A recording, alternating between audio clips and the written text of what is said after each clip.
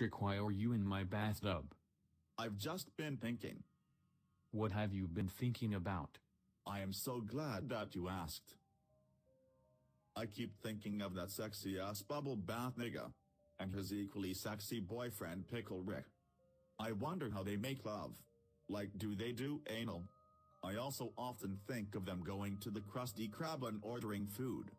I imagine he would ask for a burger with no pickles and no salt. Then Jimmy Neutron would appear from the heavens and say that it was actually called sodium chloride. Then Skeet would appear and set Jimmy straight by saying that it was actually just called salt. Then Shrek would come out of nowhere and tell both of them that salt was actually made from his dried semen. Shrek would then tell Skeet to shut up and help him make more semen salt.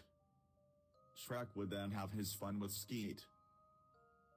Afterwards he would then produce a literal buttload of sodium chloride. After carrying this load of sodium chloride inside of him, Skeet would then of course fall in love with Shrek. Shrek would then tell Skeet that he must leave. Then Shrek would tell Skeet to spread the salt seed onto Jimmy.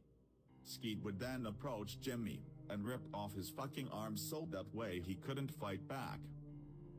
Jimmy would then die a happy death filled with his so-called sodium chloride. Patrick what the fuck kind of drugs are you on? Bath salts.